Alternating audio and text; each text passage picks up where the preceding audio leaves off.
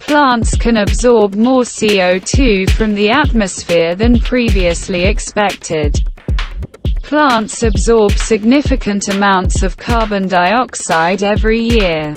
However, new research has shown that they can absorb more CO2 from the atmosphere from human activities than previously thought. Research published in Science Advances gives a glimmer of hope for an effective fight against climate change. New modeling suggests that plants may be able to absorb more CO2 from the atmosphere than previously predicted. The authors of the study emphasize, however, that this should not be understood as giving up on rapid reduction of greenhouse gas emissions. Plants absorb a significant amount of carbon dioxide every year, thereby slowing the harmful effects of climate change. But it is uncertain to what extent they will continue to absorb CO2 in the future, said Dr. Jürgen Knauer of Western Sydney University, who led the team of scientists involved in INNEW research. This is because some climate changes may affect the physiological processes that regulate how plants carry out photosynthesis. Knauer's group has developed a new model for climate prediction. We took into account various aspects. These include how efficiently carbon dioxide can move through the inside of a leaf, how plants adapt to temperature changes, and how plants distribute nutrients most economically within the canopy. These are three really important mechanisms that influence a plant's ability to absorb carbon, yet they are widely ignored in most global models, Dr. Knauer said. Photosynthesis is a process on which all organisms on Earth depend, directly or indirectly. It is in this process that organic compounds that constitute our food and the oxygen that we breathe are produced. But during this process, plants also convert CO2 into sugars used for growth and metabolism.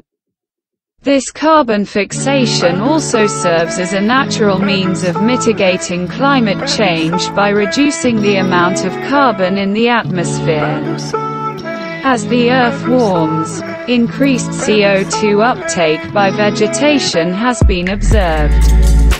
However, the effects of climate change on carbon uptake by vegetation may not last forever. Scientists don't know how plants will respond to increasing concentrations of CO2 in the air, higher temperatures and changes in rainfall patterns. Knauer and his colleagues presented the results of a study that aimed to assess a climate scenario in which greenhouse gas emissions into the atmosphere remain high. Scientists checked how plants might react to such a world and what their absorption of carbon dioxide would look like in this context. The authors tested different versions of the model. Simplest one ignored the three critical physiological mechanisms involved in photosynthesis that Dr. Knauer mentioned. The most complex version included all of them. They found that more complex models that incorporated current knowledge of plant physiology consistently predicted stronger increases in carbon uptake by vegetation around the world. The processes included reinforced each other such that the effects were even stronger when considered together. Since most terrestrial biosphere models used to assess global carbon sequestration are at the lower end of the complexity range and only partially account for these mechanisms or ignore them completely, it is likely that we currently underestimate the impact of climate change on vegetation, as well as its resilience to change atmospheric.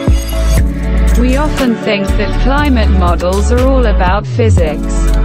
But biology plays a huge role and we really need to take that into account, said Silvia Caldararu from Trinity College Dublin, co-author of the study. Such predictions have implications for nature-based solutions to climate change, such as reforestation.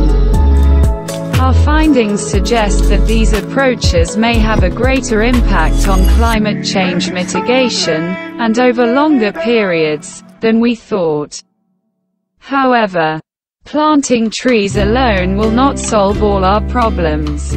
We absolutely need to reduce emissions from all sectors, called up